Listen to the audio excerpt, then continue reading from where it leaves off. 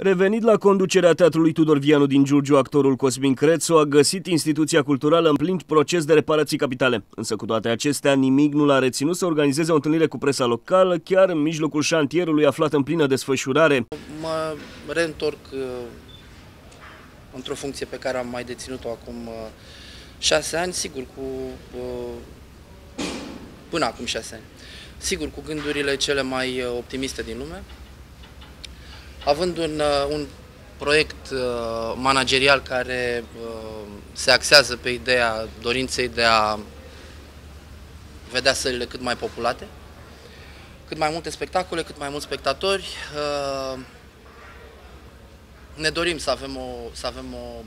o stagiune viitoare de tranziție către acest deziderat. Într-o într, societate care, cel puțin din punctul de vedere al creatorului, al artistului, uh, este minată de dezavantajul de a nu avea aici un centru universitar, uh, pentru că peste tot, peste tot în țară, centrele universitare dau cei mai uh, mulți și mai speciali consumatori de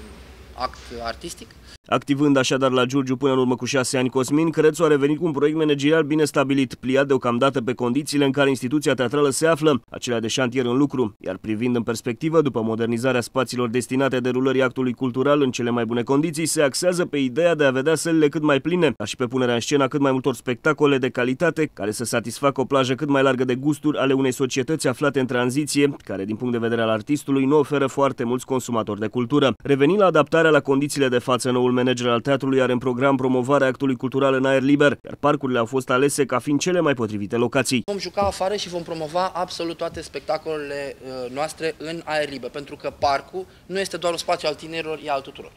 Doi la mână.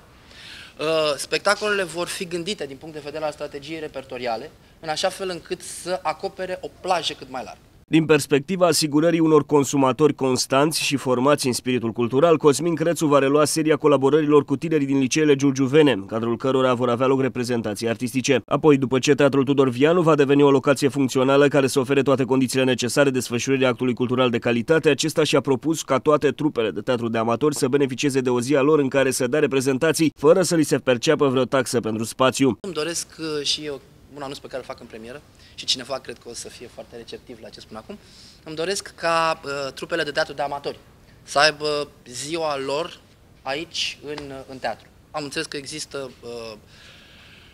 o plajă de spectatori foarte interesantă de acest fenomen, deci de ce n-am deschide ușile în regim de gratuitate